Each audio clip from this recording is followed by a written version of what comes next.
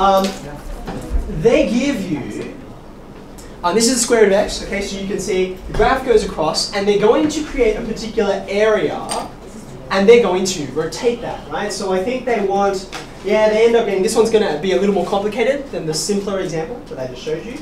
And this area here, it goes off forever, so they introduce a new boundary, okay, and now I've got a finite area, just like I had a finite area. They had, uh, I had upper and lower bounds, they've got this, oh and you can see what happens, right? Let me just rewind, because that was the critical spot. You can slow mo it. Let's go here. Should I, wait, hold on. Reduce the speed. Where's Oh, the, yes, here we go. Yeah, let's go in quarter, why not? Oh Alright, so just look again carefully.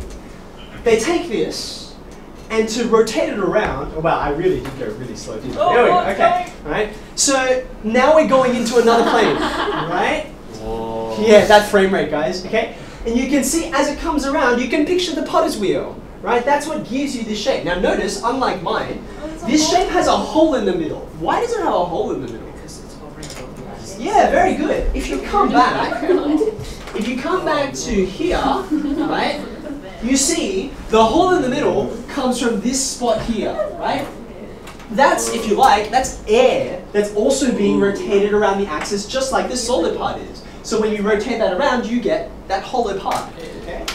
So once you've got that, that's what gives you this solid, and that's what's being considered. So what we're doing with our drawing and our shading and all that kind of thing is to try and approximate that. Oh yeah, you can see you can see what he's doing, right?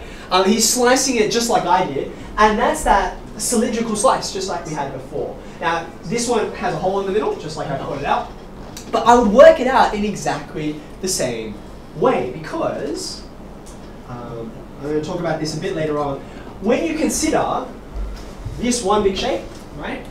I can consider that as one big solid, and then I can take the solid in the middle and just subtract it. Just like we were doing the areas between curves, right? You're like, this integral is a one area, so you subtract another integral, which is another area. This one, you're going to have a big integral, which is the big volume, and that little integral in there, which is a small amount of volume, you're going to subtract them. Okay? We will look at those cases tomorrow morning.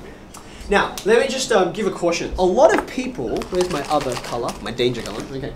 A lot of people will write this formula like so. They will say volume equals, and they'll notice that the pi, the pi is just a constant, right? So they'll throw the pi out the front, like so. Now, mathematically, there's nothing wrong with this, obviously. In fact, I encourage you as much as possible, when you see constants in there, generally take it out, because it's just one less thing to worry about, okay? However, I'm going to strongly discourage you from writing it like this, and there's a reason why I put a big red box around this. Two reasons. Number one, when you write it like this, it's really, really painfully obvious where the numbers, where the pronumerals came from. It's a cylinder. You're adding up a bunch of cylinders that are all infinitesimally thin. Okay? So it's like, there's my pi r squared h. It's very obvious, right? Whereas here, it's like the pi just kind of comes out the front. It's like, where did, what, what is this? What is this? And the answer is, well, it's two thirds of the formula for the volume of the cylinder, right? Why not have the whole thing there? The second reason is, when people write it like this, half the time, they forget the pi, okay? Because it's so easy to forget the pi. You're focusing on the integral. You're focusing on getting this thing right, and then integrating, la da da da da, and you wouldn't believe the number of times people forget the pi. If the pi is in the integral, and you remember it as pi r squared h, you'll remember it much better, okay? So, let's do a concrete example, shall we? Um, draw up a new set of axes and put just, um, put this guy actually, put y equals x squared on it.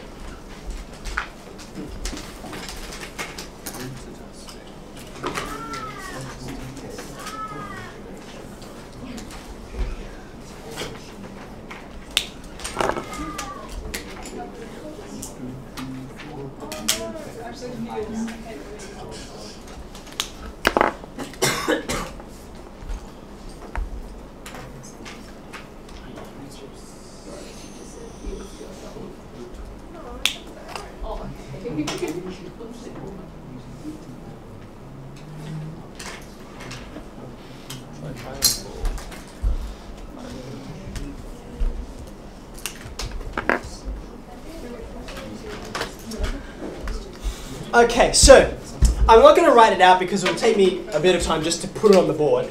But the typical way you will see a question like this worded is, find the volume when the area underneath y equals x squared, that bit I've shaded in there, find the volume when that area is rotated around, and then they'll name an axis for you. Now, just as we're starting out, I'm just going to leave it on the x-axis, just like we did before. we'll talk about what happens when you want to rotate it in different ways, but baby steps. Okay. What is the volume when the area underneath y equals x squared between 0 and 2 is rotated around the x-axis? Okay, and so that area will be shaded for you. Now, tip for beginners, in order to make your volume look a bit reasonable, okay, remember that this shape ought to be symmetrical about whichever axis you rotate. Okay, so if you've drawn your y equals x squared there, I would advise you to get your ruler, okay, and you can see where I put my 2 in, I don't know where your 2 is, right? But just measure up to where the 2 hits the y-intercepts, right? The y-coordinate, rather, okay? Whatever that length is, so on my board, it's on my board, because I have a ridiculous, it looks like 15 centimeters. I don't expect your diagram to be that large, okay? But whatever it ends up being, that distance, make sure you're roughly the same down here. Otherwise you'll end up with a lopsided, ridiculous looking volume, okay? Once you've got that, that's kind of the most important point. You would do the same thing for your lower bound, but here, because we're on the axis, the reflection is itself, okay? That's where I'm going to go, and then you draw your this kind of thing at the bottom, yeah? Oh, would you um, re-say the question? Yeah, sure. Well, can I maybe re-say it at the end? The wording of it is not that important, and you'll encounter a whole bunch in the exercise. Okay. So I'm going to rotate it around like so. I think it's good practice to put that bit in the back, make it kind of dotted, like that, because your diagram is going to get pretty busy. And then you just need to reflect that shape that you have at the top down to the bottom. And there is your shape. Okay? If you like, if you want to make it a little more obvious, you can put some like round lines there to indicate, yeah, it's a round thing, okay? Seriously, uh, making sure that you communicate clearly through your diagram what on earth the shape is you're doing, very, very helpful, okay?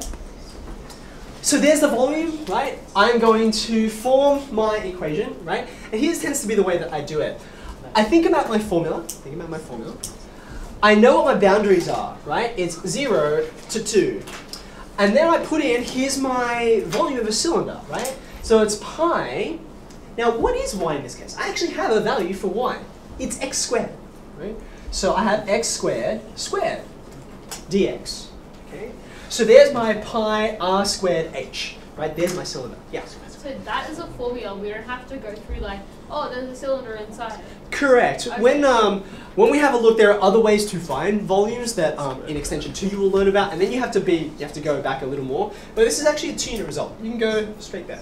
If you want, you can write this line down, but this line is kind of like it's kind of like Pythagoras: a squared plus b squared equals c squared. No one's going to give you any marks for doing that.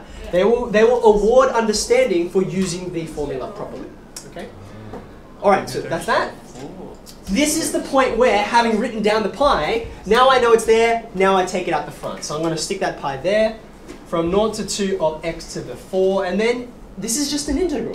It's just an integral, right? So, what's my primitive? x to the 5 on 5.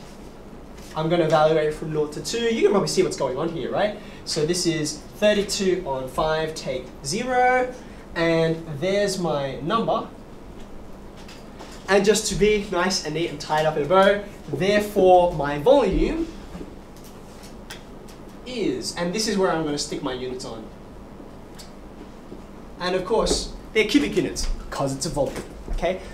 This is not complicated at all. It's just a natural extension out of, I can add up these things, I can add up those, I can add up these, what else can I add up, right? Integration serves this purpose for everything?